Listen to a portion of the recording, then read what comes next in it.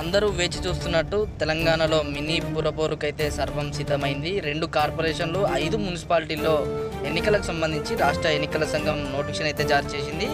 వరంగల్ ఖమ్మం కార్పొరేషన్తో పాటు అచ్చంపేట సిద్దిపేట జడ్చర్ల కొత్తూరు నకరేకల్ మున్సిపాలిటీలకు సంబంధించి ఈ నెల ముప్పైవ తేదీన పోలింగ్ ప్రక్రియ అయితే జరగనుంది. దీనికి సంబంధించి ఎన్నికల కమిషన్ నోటిఫికేషన్ అయితే విడుదల చేసింది. అయితే మే మూడవ తేదీన ఓట్ల లెక్కింపు అయితే చేపట్టున్నారు. రేపటి నుంచి ఈ నెల పద్దెనిమిదవ తేదీ వరకు కూడా నామినేషన్లు స్వీకరించడం జరుగుతుంది.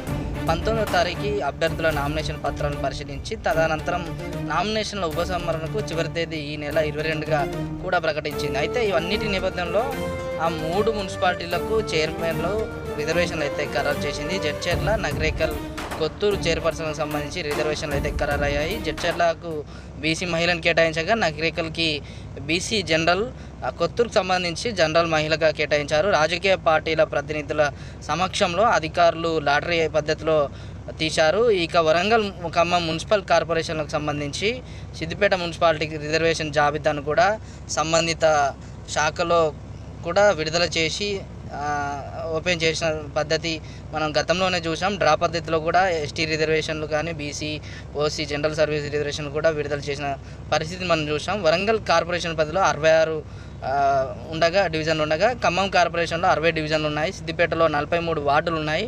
అచ్చంపేటలో ఇరవై జడ్చర్లలో ఇరవై ఏడు కొత్తూరులో పన్నెండు వార్డులకైతే ఎన్నికలు అయితే నిర్వహించనున్నారు. వీటితో పాటు వివిధ కారణాలతో ఖాళీ అయిన గజ్వేల్ మున్సిపాలిటీలోని పన్నెండవ వార్డుకు సంబంధించి నల్గొండ మున్సిపాలిటీలోని ఇరవై ఆరో వార్డుకు సంబంధించి జాలపల్లిలోని మున్సిపాలిటీలోని ఇరవై ఎనిమిది వార్డుకు సంబంధించి పూర్తి స్థాయిలో ఇంకో ఐదారు మున్సిపాలిటీలో ఖాళీ అయిన వార్డులకు సంబంధించి ఎన్నికలు అయితే జరగనున్నాయి. మొత్తానికి ఇప్పుడు జిహెచ్ఎంసీకి సంబంధించి కూడా లింగాజిగూడలో డివిజన్లకు సంబంధించి ఎన్నికలు అయితే నిర్వహించున్నారు మొత్తం మీద పురపోరుకి సిద్ధం అంటున్నారు తెలంగాణ ప్రజలు.